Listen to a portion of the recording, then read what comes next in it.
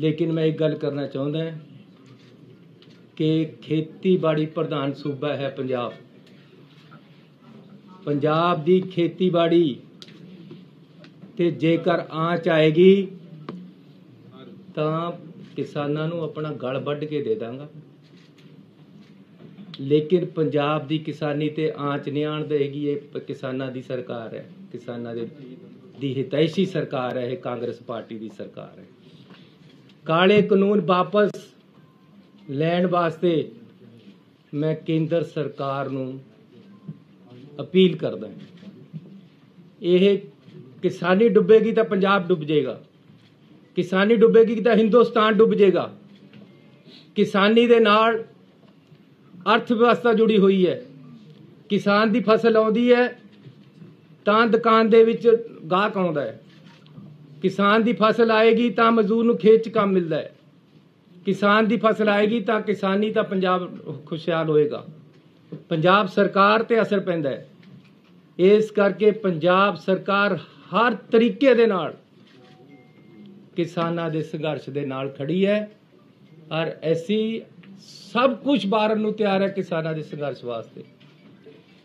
ਲੇਕਿਨ ਪੰਜਾਬ ਦੇ ਕਿਸਾਨ ਨੂੰ ਕਮਜ਼ੋਰ ਨਹੀਂ ਹੋਣ ਦੇਵਾਂਗੇ ਅਸੀਂ ਹਰ ਤਰੀਕੇ ਨਾਲ ਸਮਰਥਨ ਕਰਦੇ ਹਾਂ, ਕਿਸਾਨ ਸੰਘਰਸ਼ ਦਾ ਤੇ ਅਪੀਲ ਕਰਦੇ ਹਾਂ ਕਿ ਇਹਨਾਂ ਨੂੰ ਵਾਪਸ ਲਿਆ ਜਾਵੇ ਜਿਹੜੇ ਕਾਲੇ ਕਾਨੂੰਨ ਹੈ ਤੇ ਅਸੀਂ ਇਹਦੇ ਵਿੱਚ 100% ਨੇਕ ਨੀਤੀ ਦੇ ਨਾਲ ਬਿਨਾਂ ਕਿਸੇ ਬਲਛੜ ਰੱਖੇ, ਬਿਨਾਂ ਕਿਸੇ ਅਹੁਦੇ ਦਾ ਲਾਲਚ ਕਰੇ ਕਿਸਾਨਾਂ ਦੇ ਨਾਲ ਖੜਾ।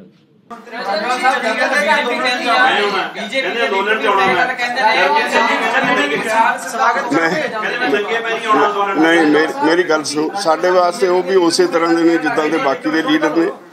ਸਾਡੇ ਵਾਸਤੇ ਚੰਨੀ ਸਾਹਿਬ ਵੀ ਉਹੀ ਉਸੇ ਤਰ੍ਹਾਂ ਦੇ ਨੇ ਜਿੱਦਾਂ ਦੇ ਬਾਕੀ ਦੇ ਲੀਡਰ ਨੇ। ਅਸੀਂ ਕੋਈ ਸਟੇਜ ਸ਼ੇਅਰ ਨਹੀਂ ਕਰਾਂਗੇ।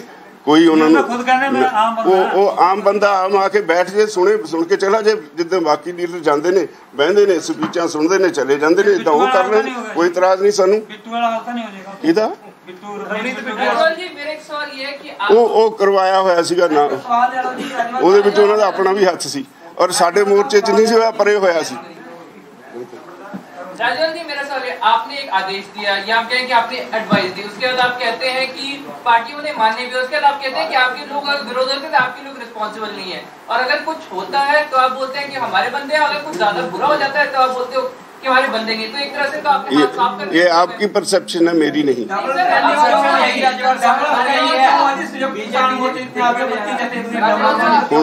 एक एक करोगे सवाल में जवाब दे दूँगा किसान भाई भाजी